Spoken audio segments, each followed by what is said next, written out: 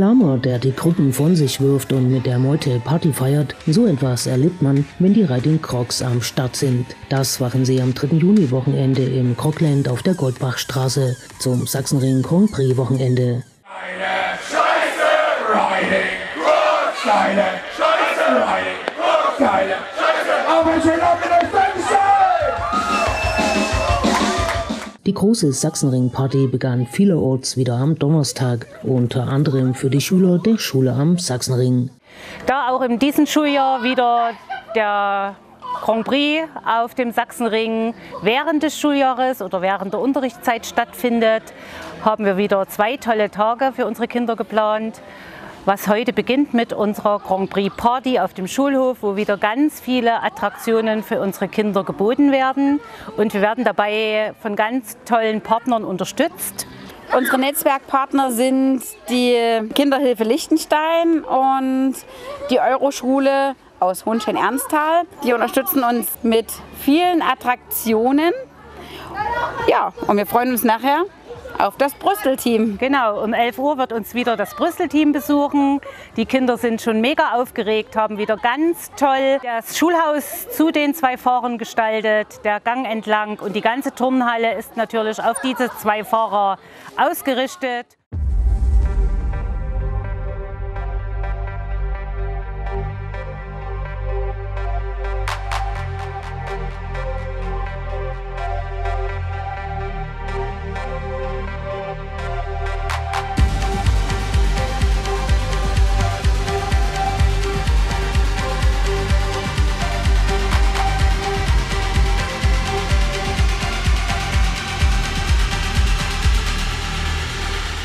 Den einen Rennpiloten durften die Schüler schon im vergangenen Jahr kennenlernen, den Spanier Xavi Artigas, der seit 2022 für das deutsche Brustel GP-Team in der Moto3 WM an den Start geht. Der zweite Rennpilot.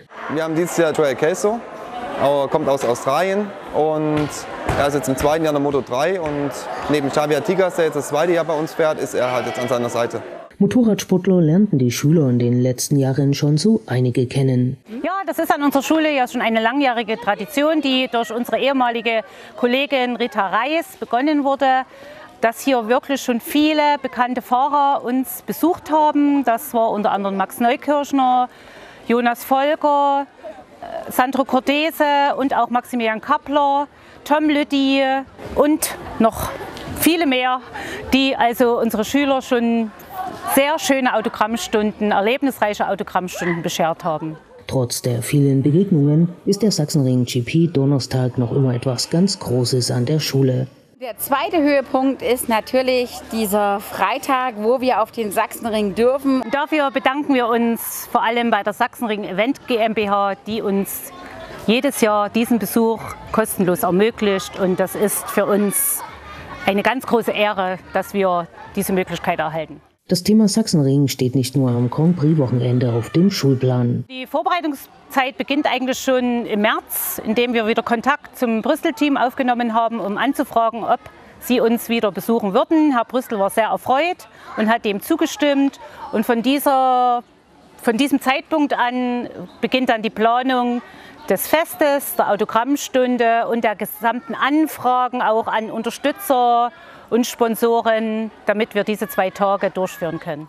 Für die Schüler ist es ein riesiges Kinderfest mit viel Spiel und Spaß. Ein besonderer Dank gilt hier vor allen Dingen unserer Schulassistentin, der Frau Müller, mit ihren Praktikanten, die wieder eine ganz tolle Gestaltung unseres Schulhauses gewährleistet haben, die die Turnhalle geschmückt haben und die Kinder haben im Kunstunterricht Zeichnungen vorbereitet, haben Drucktechniken gemacht, die alles mit dem Thema Sachsenring zu tun haben.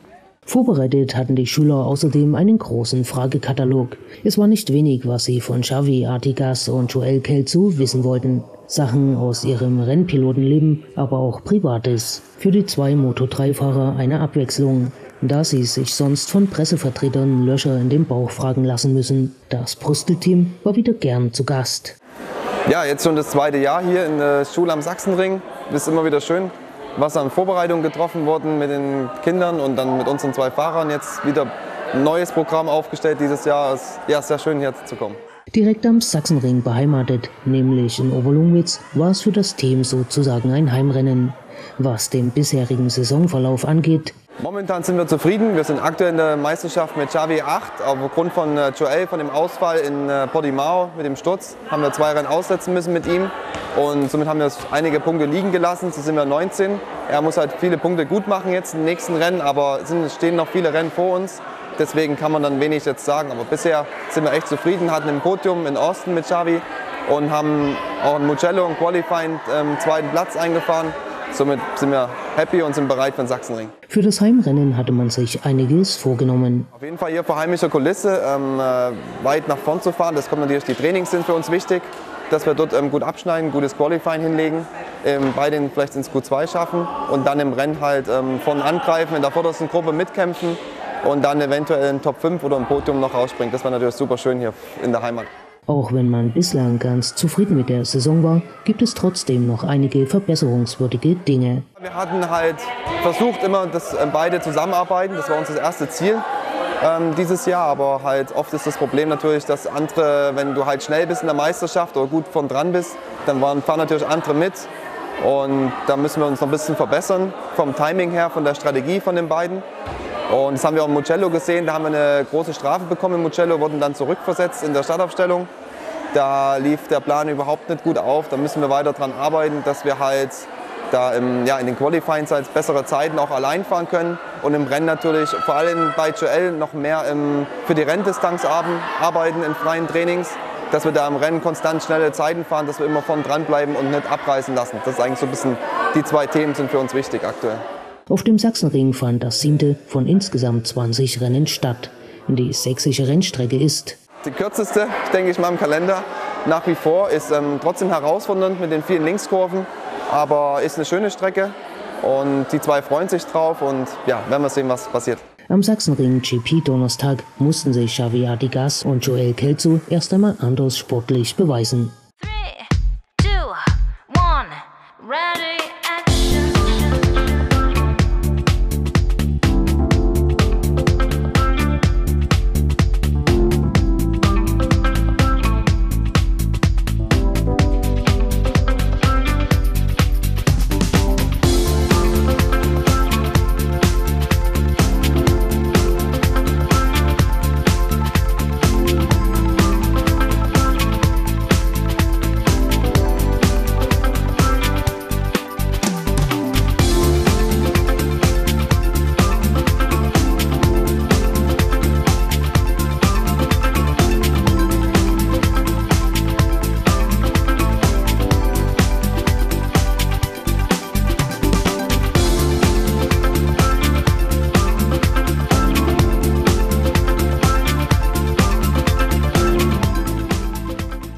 Das war erst der Anfang der großen Sachsenring-Party. Die Kulisse am Rennwochenende.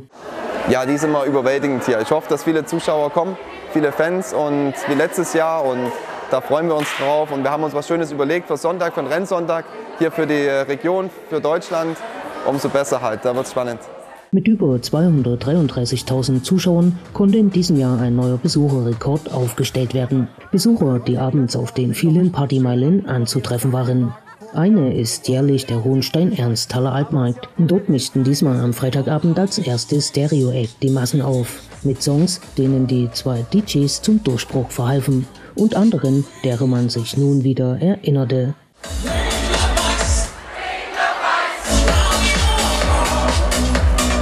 Jetzt nur die Mädels. Oh.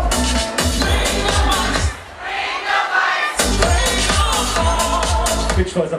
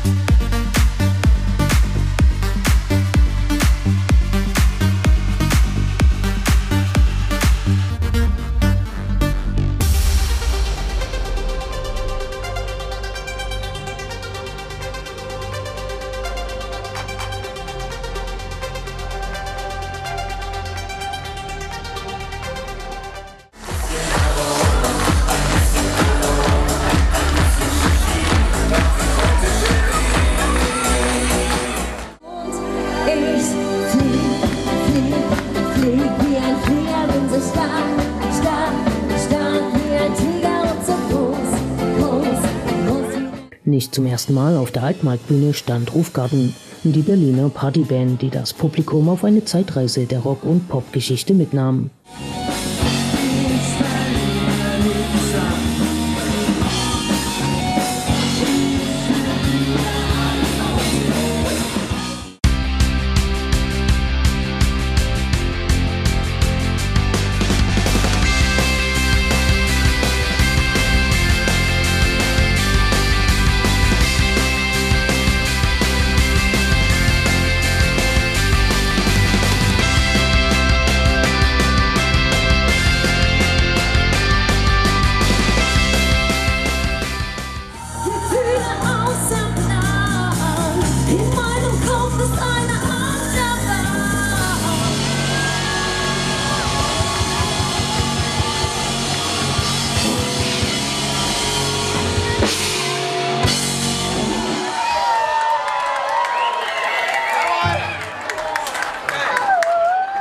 Auf der Bühne wurde zudem ein Stück MotoGP-Geschichte präsentiert, unter anderem mit Steve Jenkner. Wer kann sich noch erinnern an das Sachsenringrennen 2002?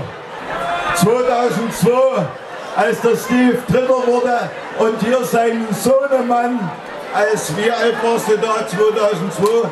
Zwei, zwei Jahre auf dem Arm auf dem Siegermodest hatte. Steve Jenkner hatte dann 2003 sein bestes Jahr dreimal Dritter in der Weltmeisterschaft, zweimal Zweiter und einmal ganz oben. Und wo war das?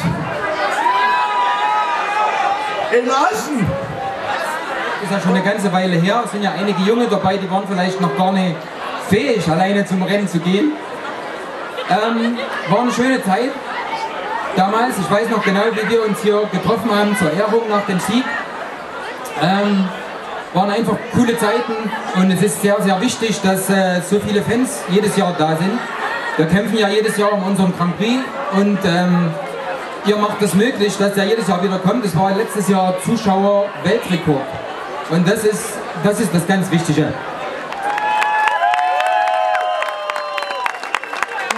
Ich, wie gesagt, äh, Sohn von Steve und ähm, ja, die WM habe ich es noch nicht geschafft. Allerdings fahre ich die IDM die internationale deutsche Meisterschaft und ähm, konnte die letzten Jahre in der Superbike 1000 Klasse auch recht gute Ergebnisse einfahren.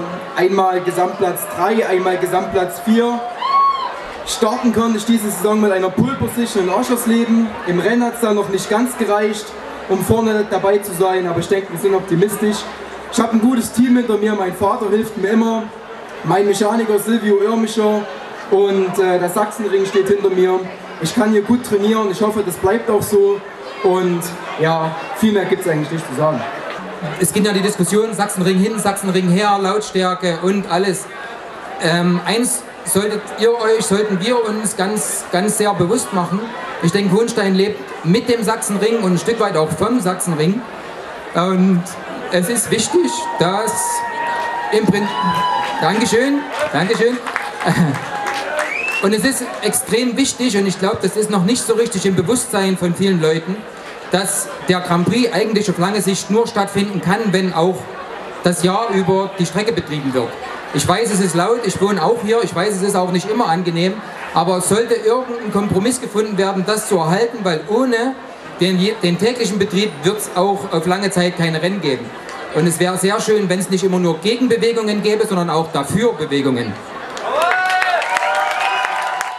Über 233.000 Rennstreckenbesucher und dazu die, die nur wegen der vielen Partys zu Gast in der Region am Sachsenring sind, bringen nicht nur ortsansässigen Unternehmen Gewinn. Auch Aktionen für einen guten Zweck, wie die Feierabende der Oberlungwitzer Mofa Gang Riding Crocs, profitieren vom MotoGP am Sachsenring.